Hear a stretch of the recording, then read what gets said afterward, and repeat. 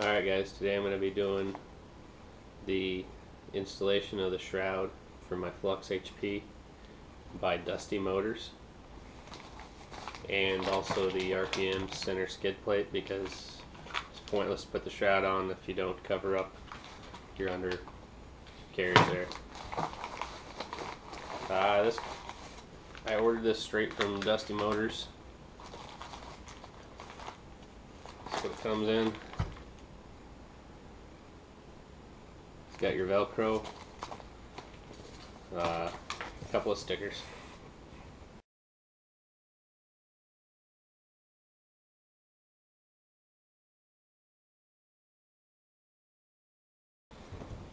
Here is the shroud.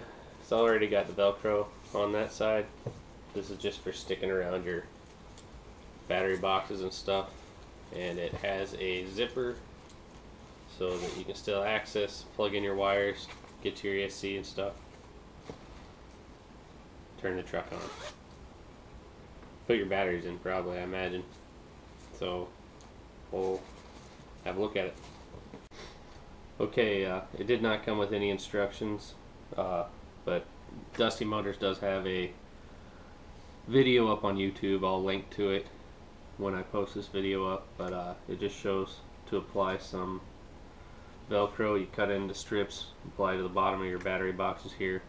Um, there's still going to be room for stuff to get up in there as far as snow and stuff like that. This material is supposed to whisk away water, but uh, it's not going to completely waterproof your electronics, but it should definitely keep some of the stuff out, I'd hope.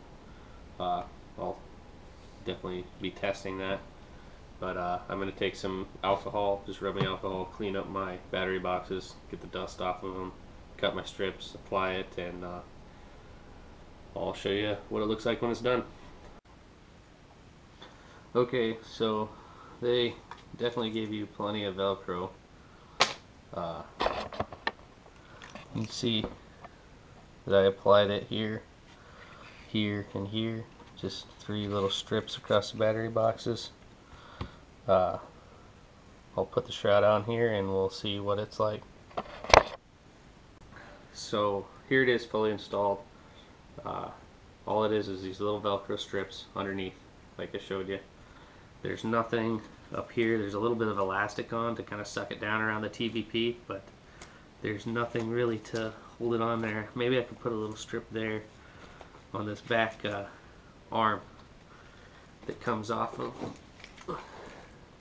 to hold your battery box. I could, I guess I'll probably put a little piece there on each side, but on on the front and on the rear of your battery boxes you can do that. That'll help seal it up a little more, but there's definitely, you know, stuff can still get up in there. Uh, I guess the only way I'll find out is when I'm running it. It does unzip,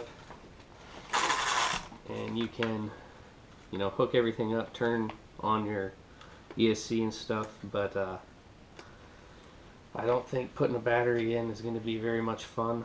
So I guess it'd be something where you take it off, put the battery in. You probably could do it. Uh, just seems like more of a hassle. Uh, but definitely I need to put just a tiny little strip on the front up here. Uh, this little bracket that holds your battery box on. I'll put a little piece there. I mean, you could put one up here, but then you'd be up against that screw, and every time you had to tear your truck apart, you'd be doing that. But I'll put a little strip there, and maybe that'll seal it up a little bit better. There's elastic on here, so it holds it down a little bit, but well, I guess we'll only know after I run it, so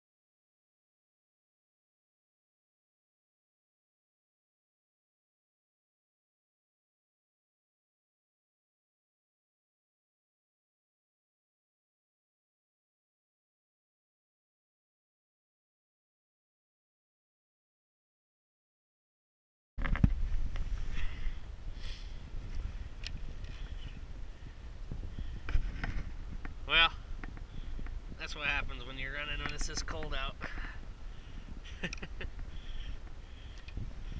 Let's take her off and have a look and see what looks like inside. As you can see, there's still some that got up in there, as I thought.